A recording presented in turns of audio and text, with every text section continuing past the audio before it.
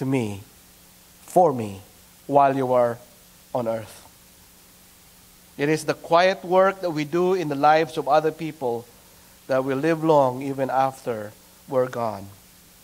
So, again, let me challenge you that you will, we will be able to make our lives count and impact other lives if we're always looking for ways and opportunities to serve. If you're always aware that you cannot do anything without God's help, that's humility.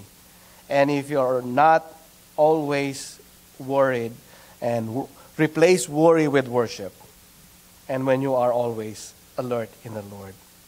Let's bow our heads as we pray. Our dear Heavenly Father, thank you. Thank you for your word today.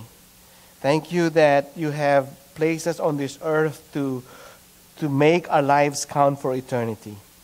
And help us, Lord, to do this, that with your help and with your grace. We ask this in Jesus' name. Amen.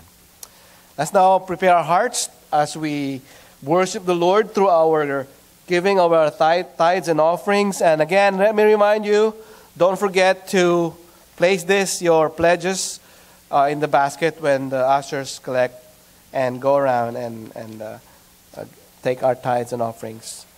Um, and I'd like to call Kim to please come and our ushers to please also come and uh, we'll have our offering.